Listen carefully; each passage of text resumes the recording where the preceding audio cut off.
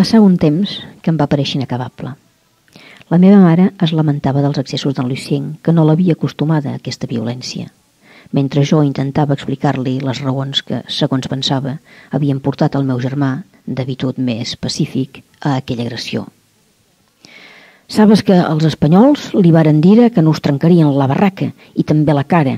Són gelosos perquè va al liceu, els espanyols.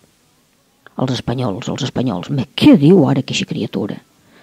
Són tan catalans com tu, els espanyols. Són pas català, jo, són francès. Ah, sí? Com parles ara, doncs? Parli, parli, me també parlen espanyol els espanyols. En Jan sempre nos diu insultes en espanyol, nos diu toqueu-vos els cocones. Desgraciat, ho cal pas dir mai això, mira que és molt lleig. Ah, ho veus que és espanyol en Jan? Ja ho sabia jo, és de la Junquera. La cridòria que venia de fora acabar aquella conversa tan interessant sobre la nacionalitat exacta dels nostres enemics. Vaig obrir la porta corrent cap a la terrassa. La majoria de les tropes espanyoles davallava al carrer al pas de cursa.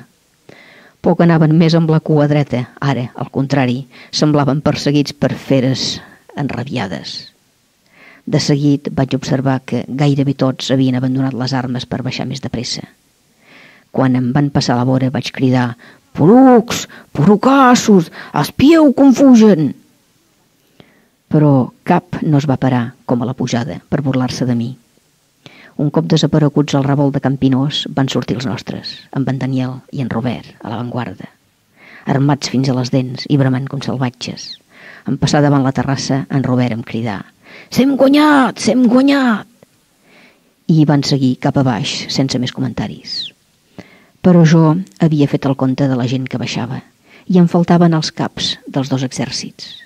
Aviat, però, van sortir l'Enric i en Picabé aguantant el pobre Pons, que arrossegava els peus a terra i semblava ben borratxo. Ell callava, pobret, però els altres, com dos gossos, jaupaven contra un personatge invisible per a mi i que els anava seguint.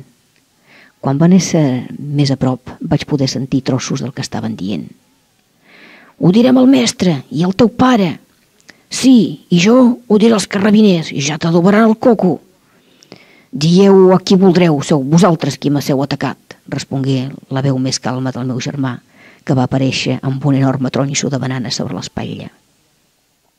Amb aquella arma pesada i la seva carcassa imposant, dominava els altres tres, i jo no vaig faltar de fer la comparació amb el petit Jean dels boscos de Sherwood. Els dos caps de l'expedició espanyola anaven reputegant i amenaçant-lo de les coses pitjors quan arribaren davant de casa. S'havien parat amb la intenció de cridar el meu pare, quan sorgiren de la terrassa de la duana els soldats del nostre exèrcit, que tornaven de perseguir els espanyols fins al barri. Es van precipitar sobre el trio, tot vociferant ventant-los guitzes per les cames i pel darrere, els mandrons a punt de foc. N'hi ha prou, ordenà el general. Els altres tres, després d'una breu vacil·lació al davant de la nostra porta, van jutjar que seria més prudent de seguir el camí i sense dir res més es van dirigir cap a la Nacional, mentre en Pons, que semblava tornar de l'hort, els digué «I, i què, què hi ha? Per què, per què m'aporteu?» Poc que vaig sentir les explicacions d'en Piquebé perquè els de dalt en rodejaven, ara, ballant una dansa de victòria. Quan van ser calmats, vaig demanar al Lucien. I bé, com s'ha passat això? Però la tropa ne li va deixar el temps de respondre. Tu, feu en Daniel, el segon atac pujaven tots en sembla amb ampons, a davant. Sí, continua Anton, i te'ls hi fotem una xerbotada de cop de roc. Me endevina quin una nos en fan. I viu sa paja. I bé, havien anat a robar tots els taps de povela del Mas Rimbau i se'n servien d'escot. Els podien pas més tocar del cap. Ja no es veiem fotuts quan el Lucien ha saltat cap a ells. Tu, tu afegia en Jep, que ja tenia ganes de parlar feia temps. En Pons venia davant, havia corrit més que els altres i amenaçava el teu germà amb un tronxo enorme. El Lucien li fot hòstia amb el garrot li fa caure el tronxo, l'agafa i te li fot uns retalls del tap de povela que ell havia aixecat per separar el cap. Això ha fet com si sonés la campana de l'Iclesi. Bam! Sí, i el tap se n'ha anat a rodar 20 metres. En Pons ha caigut de culs per terra i en Pres s'ha allargat el sol. Tenia les cames que li feien figa cada cop que miraven del fer aixecar els seus companys. A llavors tots s'han posat a cridar «És mort! És mort!» i se n'han enfugit d'un sol cop. Nosaltres els hem perseguit fins a casa. I, i, i què teníem, Pons? Faig jo, mig espantat. Era per res, home, els són deixat ben estabornet, conclou en Lucien. Poc hi tornaran a nos atacar a casa nostra. Després, d'uns segons, amb tot, em pregunta inquiet. Què ha dit el papà d'allò d'en Max? Res, home.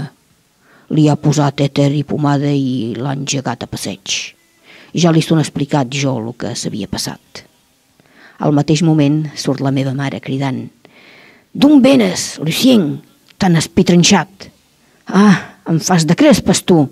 Veiem si te tornaràs com el teu germà ara!» El Lucien fa com qui no sent res i s'exclama «Carall, m'ha son descuidat que tenia un deber de llatí per demà. Me'l cal anar a fer!» i ens abandona dins l'alegria de la victòria mentre la meva mare, per aquí el treball de l'escola és sagrat, el deixa passar cap a dins, sense insistir per no destorbar-li les reflexions properes. En Daniel em bufa l'orella. Tu podràs sortir demà? Bé, ja ho crec. Per què? Perquè jo sé on tenen la barraca els espanyols. Els irem a fotre tot per terra.